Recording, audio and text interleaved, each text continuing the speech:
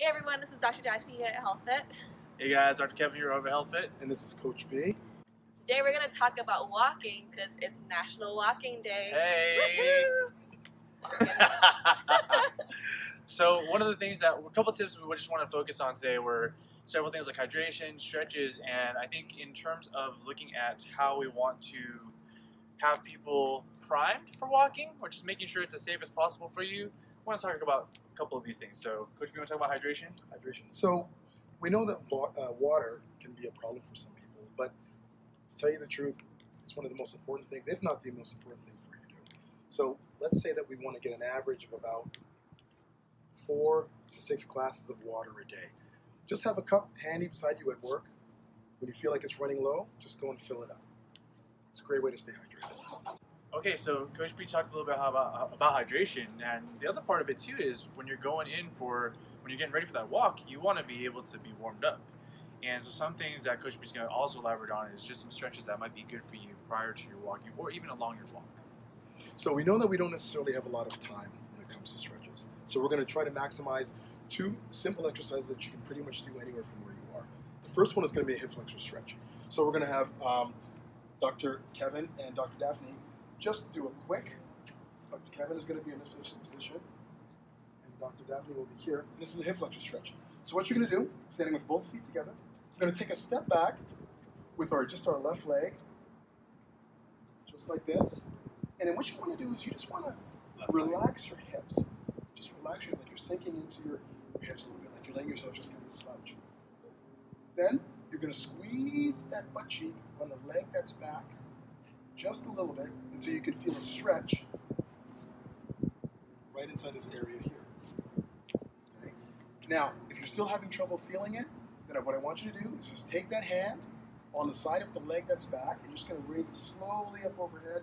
That's going to give you a bit of a stretch in through here and in through here. Feels Then good. you're just going to just gently just lean over to that side, just squeezing, remembering to breathe and squeeze. Just don't squeeze. fall. Okay, no falling. It's going to give you a nice stretch. It's going to open up these hip flexors because for a lot of people, they've been sitting for like a long periods of time during the day. Oh, right there. Good. Yeah, good. Now the next stretch we're going to do is just a really quick calf stretch. So you're going to find a wall. You're going to put the leg behind you, and what you want to do is you want to again keep your core like a little bit strong, nice and tight, and then just let your hips fall forward while keeping your knee locked. You'll feel a stretch coming down right back here, and then you want to hold that for about 30 seconds. Then switch legs. Good. Remembering to breathe. Letting hips fall forward. Leg nice line, nice and straight. And there we have a really quick, easy, simple two stretch exercise before you go on your walk. Alright, solid. Okay, guys, so my favorite thing about walks is that it's fun. And so, how do you make walks fun, right? If you have a dog, take the dog with you. If you have a spouse, take your spouse with you. If you have a best friend, take your best friend with you.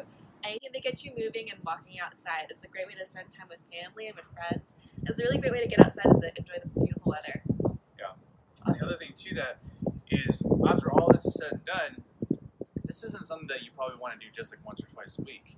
Ideally, you want to try to get this probably every 30 minutes to an hour. You might not be able to make it outside, but even if you're able to take a quick stroll around the office, you know, just go ahead and step outdoors just for a moment, just to enjoy the air. It's beautiful outside today. smells good. And guys. yeah, just being able to do that movement is so important for you guys, and that way, kind of get you out of being stiff and being sta- like stationary the entire day.